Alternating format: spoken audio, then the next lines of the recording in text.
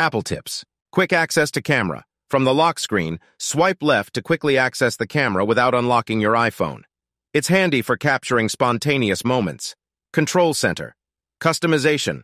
Open Control Center by swiping down from the top right corner or from the bottom on older iPhone models. Customize it by going to Settings Control Center, where you can add or remove shortcuts for quick access to frequently used functions. Siri Shortcuts. Take advantage of Siri shortcuts to automate tasks and create custom voice commands.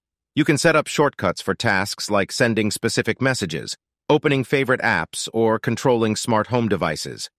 Access Siri shortcuts in the Shortcuts app. Face ID or Touch ID alternative. If you're wearing a mask or prefer using Touch ID, you can set up an alternate appearance or add multiple fingerprints in Settings, Face ID and Passcode or Touch ID and Passcode.